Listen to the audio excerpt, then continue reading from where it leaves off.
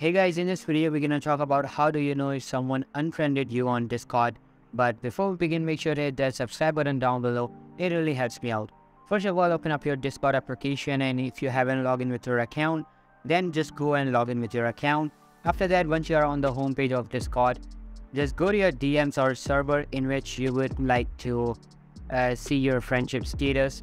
Then just go to your profile of that friend you can do it by right clicking on their username and then selecting profile.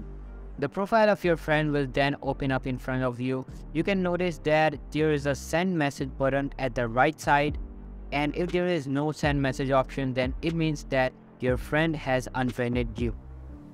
There is also another way to know if your friend has unfriended you by just uh, going to your DMs and clicking on all uh, this will open up your friends list. If you cannot see your friend in that list, it means that he or she has unfriended you.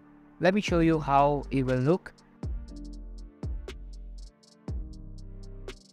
Uh, you can see that the send message button turns into send friend request in the profile box and uh, if you go into the DMs, you, can see that the friend is not available anymore.